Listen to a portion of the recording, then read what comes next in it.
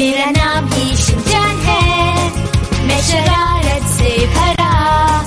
बड़ी मुश्किल में पड़ी